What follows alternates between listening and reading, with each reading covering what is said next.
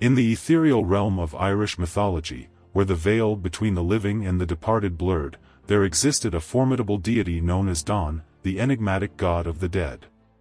His dominion extended over the shadowy underworld, where the spirits of the deceased dwelled. Donn's origins were shrouded in mystery, his existence predating the arrival of the Tuatha De Danann, the divine race that ruled Ireland in ancient times. He was said to have emerged from the primordial darkness, a solitary figure cloaked in an aura of both awe and dread. As the god of the dead, Donn possessed immense power over the souls of the departed. He presided over the transition from life to death, guiding the spirits through the treacherous journey to the underworld. His presence was both comforting and terrifying, for he held the keys to the realm of the dead and could grant or deny passage. In Irish folklore, Donn was often depicted as a tall, imposing figure with piercing eyes that seemed to penetrate the very depths of one's soul. His skin was pale and cold, and his long, flowing hair cascaded over his shoulders like a silken shroud. He carried a staff adorned with intricate carvings, which he used to summon the spirits of the dead.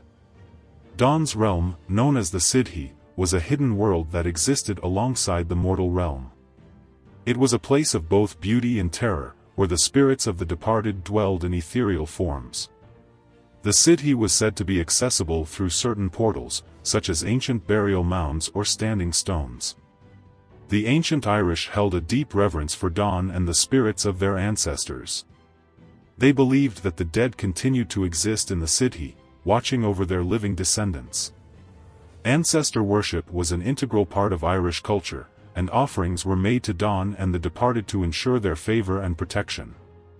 One of the most important rituals associated with Donn was the Feast of Samhain, which marked the transition from summer to winter. On this night, the veil between the living and the dead was said to be at its thinnest, allowing the spirits of the departed to return to the mortal realm.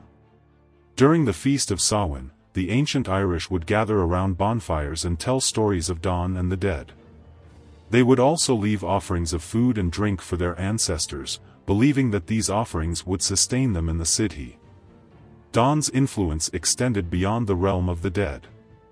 He was also associated with the natural world, particularly the forests and mountains.